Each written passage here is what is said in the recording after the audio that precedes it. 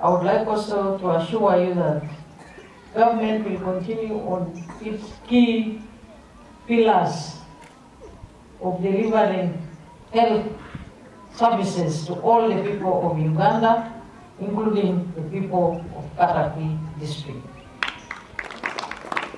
Recently, we received a brand new ambulance for Katakwi Hospital. We also received a brand new ambulance for Toroma Health Center 4.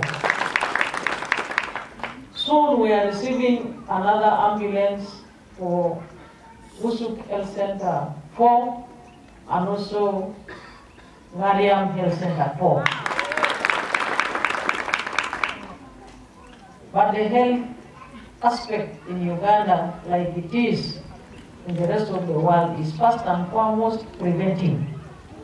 So I would like to call upon all the parents and the students here and, and, and the local leaders and the cultural leaders and the religious leaders to ensure that we understand those aspects of our day-to-day life which enable us to prevent diseases from attacking us, including immunizing all our children against all the seven killer diseases and other epidemics which may arise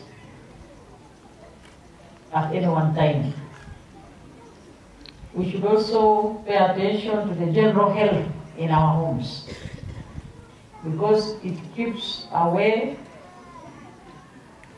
incommunicable diseases.